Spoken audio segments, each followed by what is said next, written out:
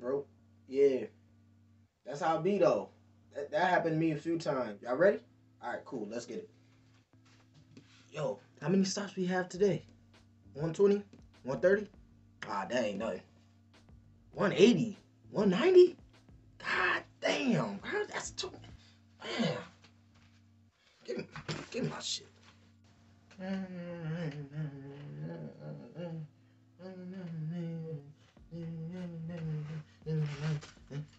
So what? Yeah, yeah, I got you. I got you. Hey, hey, David. Yeah, Sue.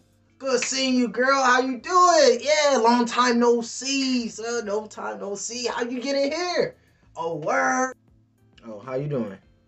Yeah, I seen you. I seen you. You, you just started. Word. Yeah, I've been here. I've been here. Yeah, um, you know, I got you with, you know, helping you out, load your truck or whatever, because I see you got nails and I don't want you breaking those. Yo, bro, every time I use this phone, it don't even work.